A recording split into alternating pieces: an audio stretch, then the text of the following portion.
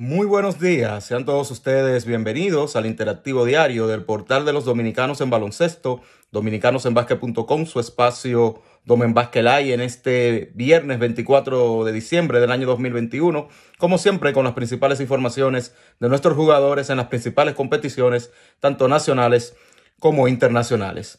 En el día de ayer, en la primera división de Hungría, Gelby Solano, 16 puntos, 4 rebotes, 5 asistencias, más 25 de valoración, contribuyendo al triunfo del Sornoski, 90 por 86 ante Otze en tiempo extra. Llegando a la Pro francesa ayer, Adonis Enríquez, 5 puntos, 3 rebotes, menos 5 de valoración en derrota del Lillet, 72 por 74 ante Tous. Llegando al baloncesto superior de la Romana, el, el, combinado de San Martín de Porres se adjudicó anoche su cuarta corona en esta competición, Sobresalió la actuación de Jason Colomé con 37 puntos, 3 rebotes, 2 asistencias más 32 de valoración en el triunfo 101 por 109 ante Juan Pablo Duarte en el cuarto partido de la serie.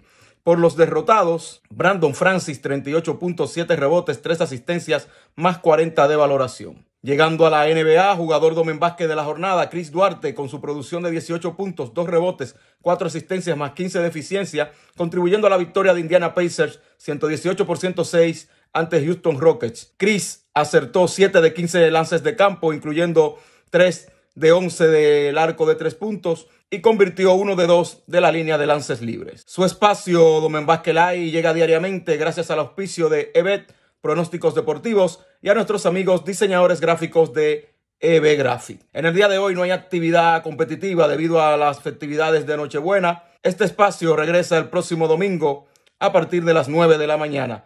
Desearles a todos feliz Nochebuena y feliz Navidad en este fin de semana. Muchas bendiciones.